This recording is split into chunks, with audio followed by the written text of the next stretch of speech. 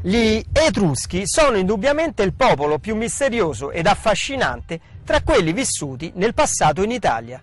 Pensate che secondo lo studioso Mario Gattonicelli, incredibile ma vero, le pagine che si potrebbero scrivere sulla loro storia non sarebbero più di 5 o 6. Tutti sanno, ad esempio, per averlo appreso tra i banchi di scuola, della nostra scarsissima conoscenza della lingua etrusca e delle oscure origini di questa civiltà.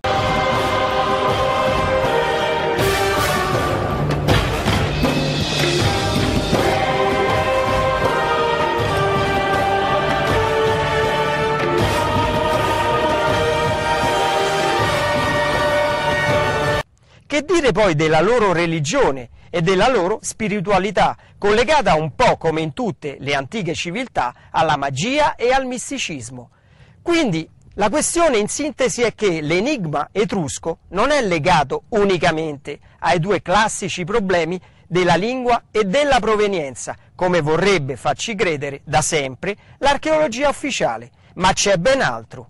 Stasera ci troviamo qui nei pressi delle rovine dell'antica città di Monterano perché anche Monterano è di origine etrusca.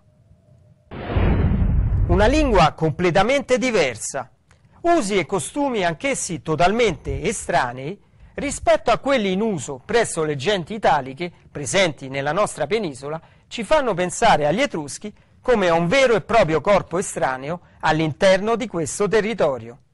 Apparsi quasi dal nulla sulle coste centro-settentrionali del Tirreno prima dell'VIII secolo a.C., si stabilirono in quella zona corrispondente, grosso modo, all'attuale Toscana e all'Alto Lazio, chiamata successivamente dai Romani Etruria.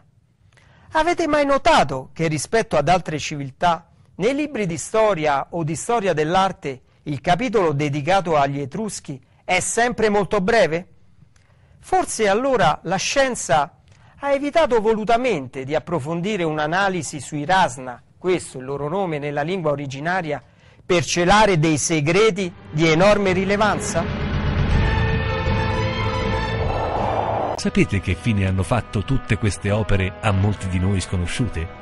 Sparite nel nulla, letteralmente scomparse. Strano, vero?